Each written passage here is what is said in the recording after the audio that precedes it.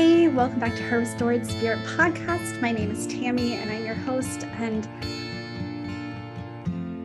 well, I've talked about how I um, I've had a little bit of downtime lately. I've had a little bit of time to reflect. And one of the things that I really noticed about myself is I was getting started to get more anxious about things. I was seen as an Enneagram one. I was starting to nitpick and not just others, like myself, all the things that I did, focus on things I didn't do, the things I didn't do well. Um, I was trying to force things that ordinarily didn't need to be forced. I was trying, even my quiet times and things, like I felt they were rushed and they were uninspired. So it caused me to take a moment and to look at what was going on. And I thought that I would share my insights with you. I thought that I would um, see if anybody else has this um, go on sometimes. And it, because it's, we get so focused on what's in front of us, we get so focused on life and moving, and just time is like the summer is almost all the way over. And I'm like, what just happened? How did that happen? How did it happen that summer is almost over? Where did it go? Um, who stole it? Because now we're looking at middle of July. My kids start school in like less than three weeks. How is that possible? And I've also realized that some of the things that I really know that slows things down, I haven't been doing. So as I've been s- slowing down and and taking a moment to really ask myself, why am I feeling anxious? Why am I feeling overwhelmed? Why am I feeling stress? Why am I nitpicking everything to death and it's annoying me? Someone's at my door and so the, the dog is barking. Hold on, let me let the dog out. Gotta love when someone knocks on the door and drops something and running and it's not even for you. So all that and to know that it's not even for for me it's for my neighbors but anyway back to what i was talking about. Let me gather my thoughts for a moment. It is we're talking about when time speeds up how can we slow it down? And i realized that i was not actually paying attention to the blessings and to things that i was grateful for. I could list it out, I could write it down, but I did not internalize any of that. So even with the kids, I was instead of focusing on the things that were going right, I was looking in Enneagram 1 fashion at all the things we were missing the mark on, all the things that we have coming up that are going to make stressful for all of us.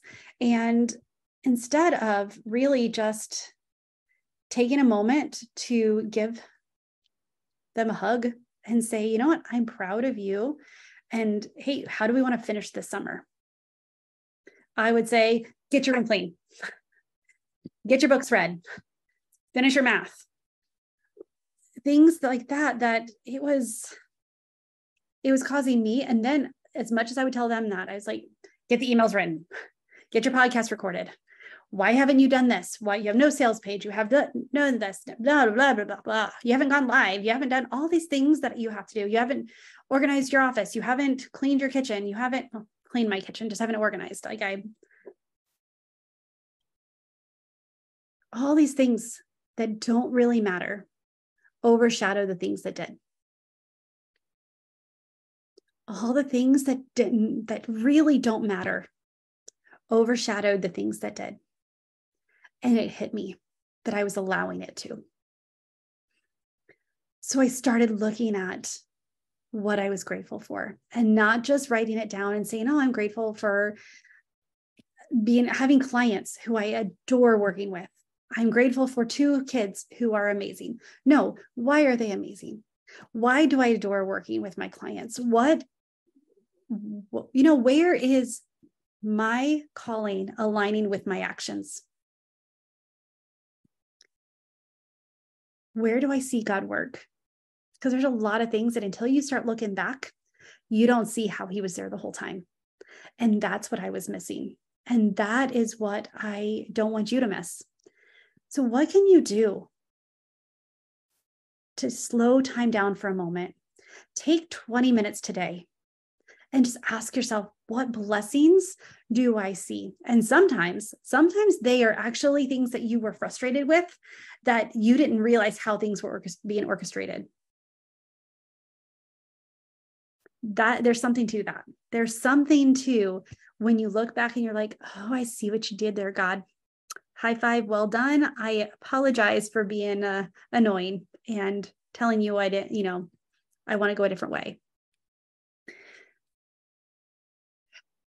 we get out of habit. We we will do things in for a habit, like writing down our three wins, writing down our gratitude, praying, all these things. But are you intentionally doing that? Have you sat down and asked yourself, okay, why is this important to mention?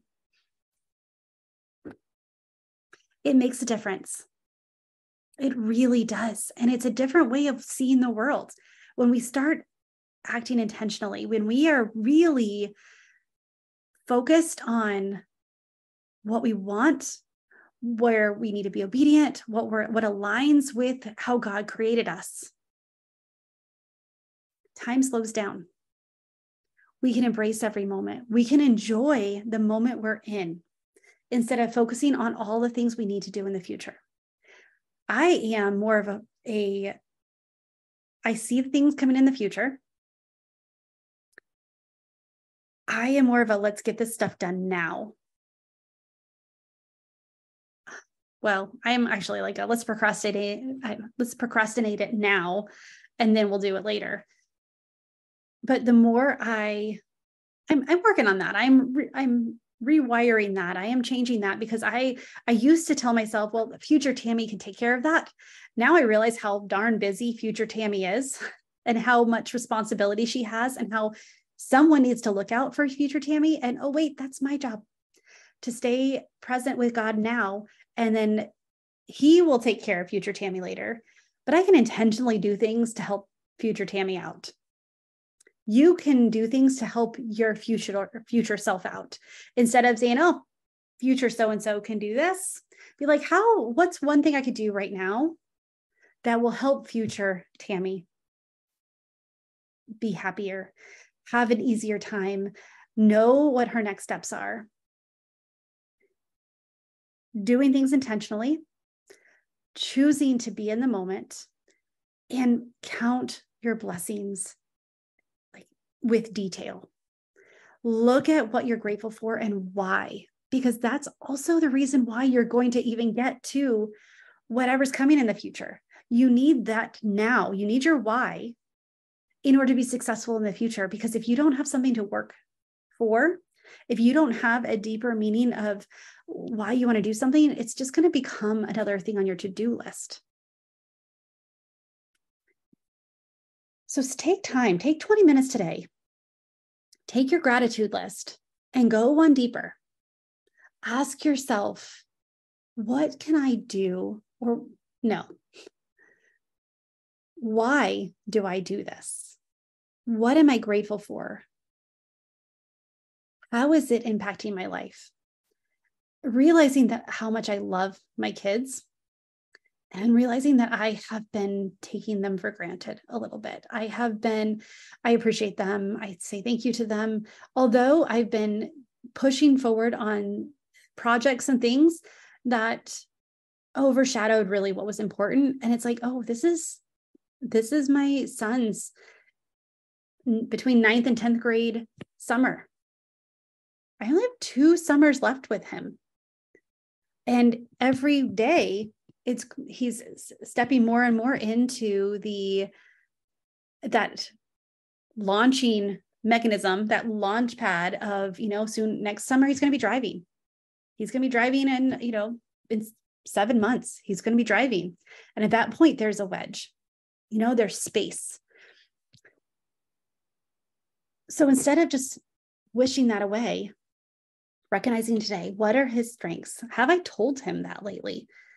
Because when I tell him, I'm also telling myself. So all the struggle with him, and he's an Enneagram 8, he's a, a challenger. We butt heads a lot, but he's also helped me grow. And I love him with all my heart.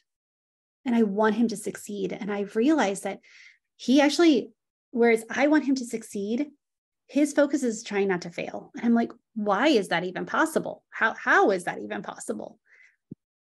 And so recognizing that if I did not stop to look at things and analyze and really ask God, like, show me what I'm missing, I would have missed that fact. And then we would have just stepped butting heads instead of me being able to partner with him and see me like, buddy, these are the reasons why you can't fail. And if you do fall, this is why you're not going to fail. Falling is not, I mean, some, not something that we need to be afraid of, especially now when I'm here to help you. You want to fall, you want to make mistakes and try different things because at this point in time, the risk is so low that you can bounce back from it. When I recognized that he was so afraid of failing instead of succeeding, I'm able to walk with him. I wouldn't change that for anything. And I would not have noticed that if I did not take time to look at what I was grateful for and ask God to show me the things I was missing. What have you not asked God to show you? The things that you are counting as blessings, the things that you um, are grateful for. There's, I guarantee there's other aspects there that you haven't thought of that going deeper with it would give it some more clarity and insight and also remind you of your why.